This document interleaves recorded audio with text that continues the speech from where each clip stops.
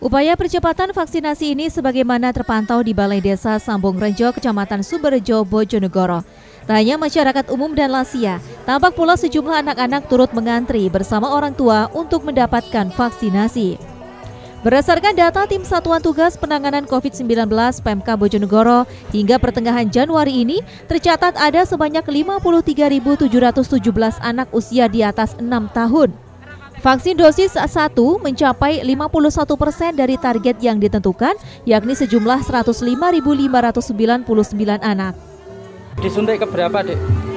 Kedua. Kedua. Sakit gak? Enggak. Gak takut? Enggak.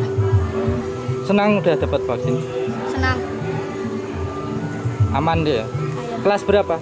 Kelas 1. SMP? Nggih.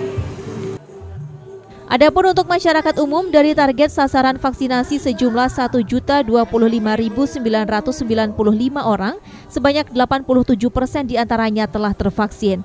Lansia dari total 96 ribu orang, 72 persen di antaranya telah mendapatkan vaksinasi minimal satu kali atau dosis pertama.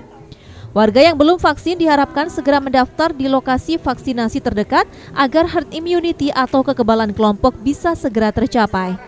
Samsul Alim, JTV, Bojonegoro.